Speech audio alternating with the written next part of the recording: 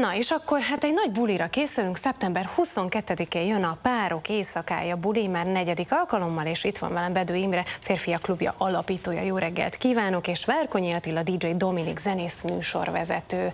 Jó reggelt, Jó reggelt kívánok! Jó reggelt.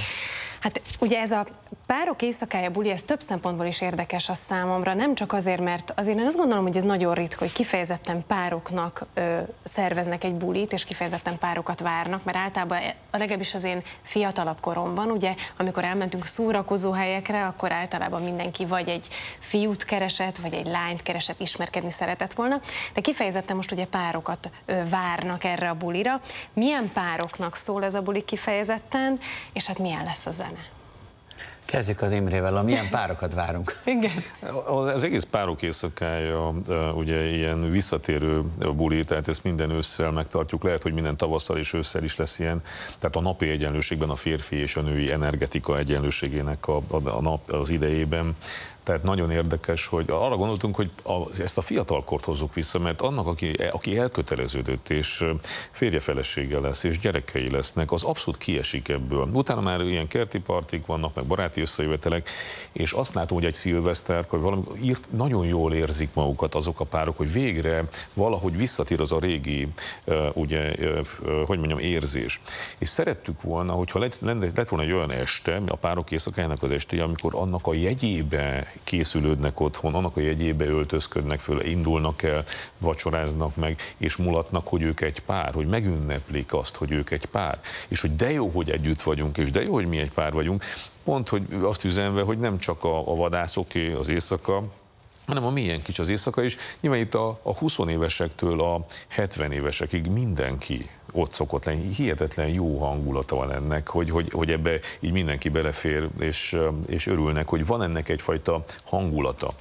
És persze, bocsánat, csak mi mindig elmondjuk, hogy az egyedülállók is el szoktak jönni, mert ők ott olyan fajta párt szeretnének találni, illetve talán ennek a hangulata nekik is tetszik, hogy rá, látják a párokat, hogy mennyire önfeledtek, mennyire csillog a szemük, hogy nem igaz az, hogy a hosszú távú párkapcsolat mindenki bele van szürkülve, hanem hogy, hogy ez egy jó dolog. Milyen zene lesz? Jó. Én azt gondolom, hogy a lemezlovasnak az a kötelessége, hogy azok az emberek, akik ott vannak, bármekkora is ez a tömeg, ha ez öt ember vagy százezer, mind a kettőt megadta a Jóisten nekem, akkor, akkor azt kell kiszolgálni, vagy őket kell kiszolgálni. A zenét tekintve mindenféle zenét tervezek ilyenkor, de nem tervezem előre, hogy mit játszom. Tehát figyelem a közönséget, megnézem, hogy mire mozdulnak, mire nem mozdulnak, hogyan reagálnak, hány évesek, milyen korosztály, szociológiailag. Szóval ez egy, sokan azt gondolják, hogy mi van abban tíz zenét lejátszani, és hát ez egyáltalán nem így van. Én el is fáradok egyébként nagyon egy ilyen szettnek a végére, mert rettenetesen figyelek, és soha nem az első sorokat kell figyelnem, a legutolsót, és soha nem a lányokat kell figyelnem, a fiúkat. Tehát, hogy megvannak azok a szakmai titkok, vagy hogy mondjam, szakmai ismérvek, amik alapján én megyek a bulinak egyik daláról a másikra, és a vége az szokott lenni általában, hogy minden kezecske a magasban van, megfogják egymás kezét, és alkalmasint még össze is ölelkeznek.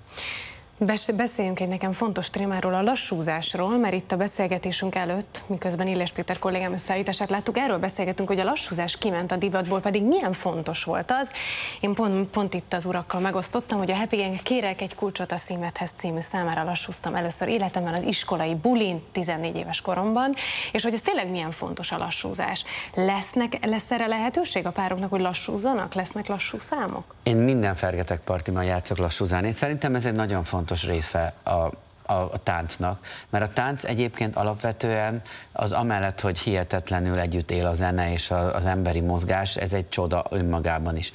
A lassúzás meg meg lehet ölelni a másik embert ö, nyilvánosan, minden feszélyezettség nélkül. Párok éjszakájában meg hatványozottan fontos ez, van érdekes ez a dolog. Én egyébként tényleg mindig játszom, így szokták is mondani, hogy hát leül a buli, sose ül le sőt, ilyenkor további energiák szabadulnak fel a bulit illetően. Úgyhogy én megnyugtatok mindenkit, hogy a párok éjszakáján lesz lassú zene, több is, és lehetőség is van rá. És én nagyon sajnálom, hogy ezt kiveszed, de én nálam nem veszed ki, tehát nálam van mindig lassú. Imre, még egy gyors választ szeretnék kérni, izgul-e? Várja?